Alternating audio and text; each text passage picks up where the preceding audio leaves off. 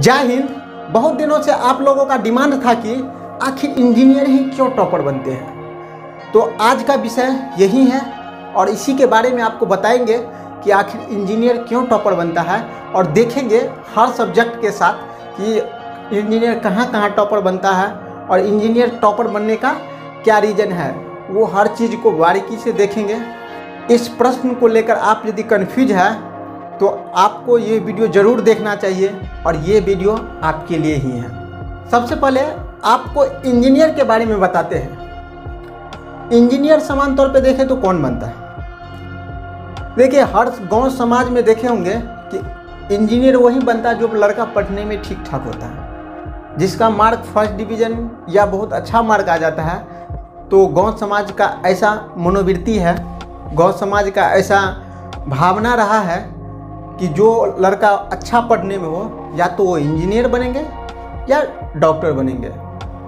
तो पहला काम तो ये होता है कि कोई भी अच्छा लड़का हो, वो इंजीनियरिंग की तरफ़ जाता है। और सेकेंड रीज़न और देख लेते हैं। जब इंजीनियरिंग कॉलेज में जाते हैं कॉलेज में जाने के बाद उसका जो पढ़ाई का तरीका है, वो हम लोग के जो पढ़ाई का तरीका है, वो बिल्कुल डिफरेंट है। अब बोलिएगा कैसे? देखिए उन लोगों का पढ़ाई टेक्निकल पढ़ाया आधुनिकीकरण से उसको जोड़ के पढ़ाया जाता है। क्योंकि उस सब का मेन मोटिव होता है कि हम कोई भी प्राइवेट कंपनी में जाके वर्क करेंगे। और प्राइवेट कंपनी में आपको पता है कि प्राइवेट कंपनी वाले क्या करते हैं? टाइम का बड़ा पक्के होते हैं। वो कोई भी काम उसको यदि चार महीना में करने के लिए देंगे तो उससे चार महीना से दो दिन पहले काम करके उसको देना है। यदि आप काम करके नहीं देंगे तो या तो उनका सैलरी में से पैसा कट जाएगा, या नहीं तो उसे जॉब से हाथ धोना पड़ेगा। तो कहीं ना कहीं इस डर की वजह से पहले से उसे उस तरीका से ट्रेंड किया जाता है, जिससे इसकी मानसिक विकास उस लेवल का होता है। और मानसिक विकास अच्छा होने की वजह से एक इंजीनियर डिसीज़न मेकिंग करने में डिसीज़न लेने में सक्षम होते हैं कि हमें क्या करना चाहिए, हमें कितने दिन के अंदर में कितने वर्क करना है, ये काम भी एक इंजीनियर बखूबी कर पाते हैं। इसके साथ ही, जब इंजीनियर को प्राइवेट सेक्टर में जॉब नहीं होता है तो वो इंजीनियर क्या होता है? इधर सरकारी वाले जो भी, जैसे बीपीएससी यूपीएससी या जो भी कंपटीशन हो, उस कंपटीशन में आते हैं। कंपटीशन में यदि एक इंजीनियर आ गए तो हम लोग का जो पढ़ने का तरीका है उससे कहीं ना कहीं उनका डिफरेंट तरीका तक होता है। और क्यों होता है? आप समझ गए कि उसका जो माइंड सेट है, वो पहले से ऑलरेडी आधुनिकीकरण और ट्रेंड कर दिया गया है, जिसके वजह से वो सही डिसीज़न के साथ साथ वो सही प्लान भी बना पाते हैं कि उसे क्या पढ़ना है, हमें क्या पढ़ना है। और इसी क्रम में वो क्या करता है, सबसे पहले वो क्वेश्चन बैंक और सिलेबस देखने के बाद वो एनालिसिस करते हैं कि हमें क्या पढ़ना चाहिए, कितना पढ़ना चाहिए।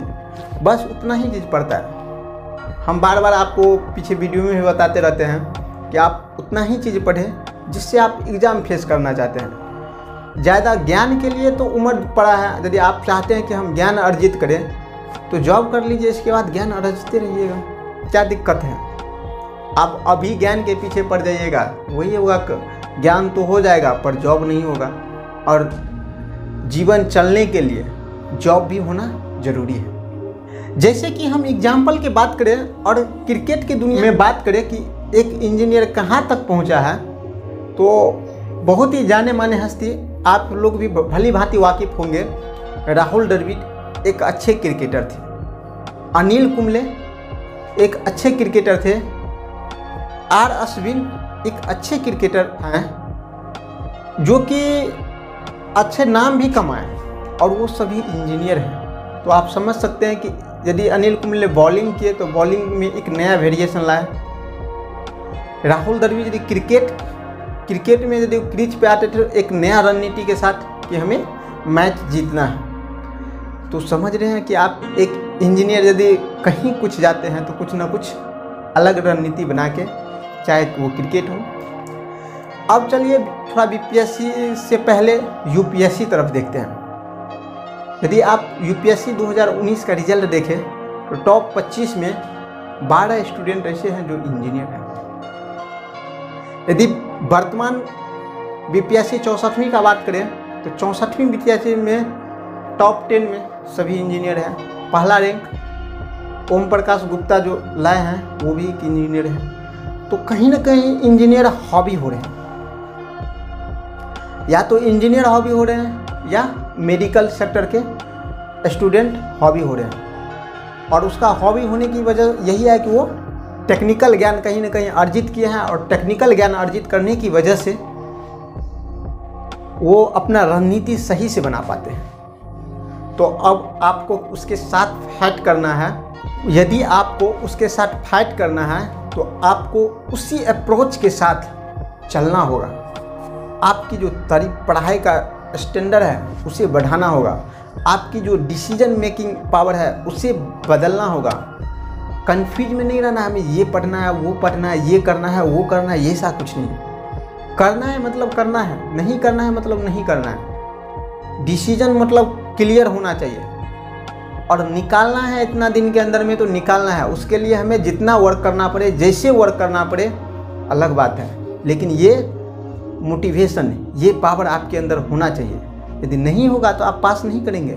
लेकिन इंजीनियर के अंदर ये मोटिवेशन होता है ऑलरेडी यदि इंजीनियर पढ़ने बैठ जाते हैं, यदि उसको टॉपिक यदि ख़त्म करने में यदि 24 घंटा लगता है तो 24 घंटा कंटिन्यू बैठ के पढ़ लेते हैं। लेकिन हम लोग दो घंटा पढ़ते हैं। दो घंटा अगर मन नहीं लगा, चलो बाद में देख लेंगे। ये नज़रिया रखिएगा तो कैसे होगा? ऐसे थोड़ी होता है क्या?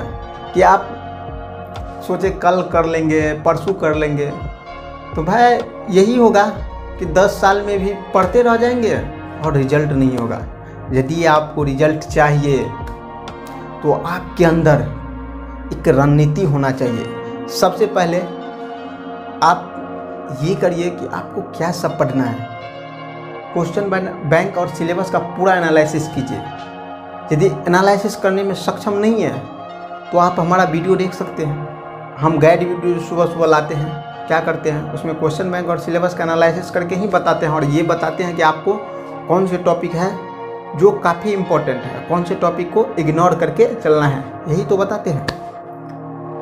आपको लगता होगा कि ये क्या बता रहा है, कुछ नया कर रहा है? नया है। यदि आपको टीचर ये बता देगा कि जाओ बाबू सिलेबस और क्वेश्चन बैंक का एनालिसिस कर लो, तुम बीपीएससी पास कर जाओगे तो उसका तो पेट का सवाल है ना। वो भी तो चाहता है कि आप उलझे रहें। सबसे बड़ी बात तो वो छोड़ उस, उनको छोड़ दीजिए। हमारे देश के सिस्टम को पे यदि बात करें तो हमारे लोग का शिक्षा व्यवस्था ही ऐसे दिया गया है, जिसकी वजह से हम लोग खुद उलझे हुए हैं। हम लोग आश्रित हैं सेल्फ डिपेंडेंट नहीं है। क्या आप यकीन मानिए, कुछ भी करते हैं क्या सेल्फ डिपेंडेंट कभी कुछ किए हैं? टेंथ पास किए, बिना ट्यूशन लिए पास नहीं किए। ट्वेल्थ पास किए ट्यूशन लिए। कंपटीशन का तैयारी कर रहे हैं ट्यूशन ले रहे हैं। क्यों? भाई, आप नहीं पढ़ सकते हैं क्या? पढ़ सकते हैं।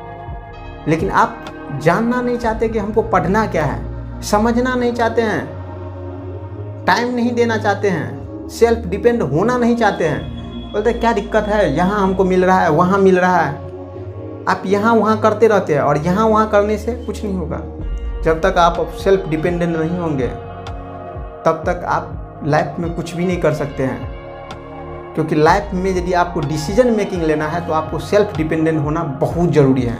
इसीलिए आप कोशिश करिए सेल्फ डिपेंडेंट के साथ ही आप मन लगा के पढ़िए। या एक अच्छे गाइडेंस के साथ जहाँ से भी आपको अवेलेबल हो, वहाँ से आप गाइडेंस लीजिए और पढ़िए, जिससे कि आपको कम टाइम में सफलता मिल सके। फिर मिलेंगे नए टॉपिक के साथ किसी और दिन।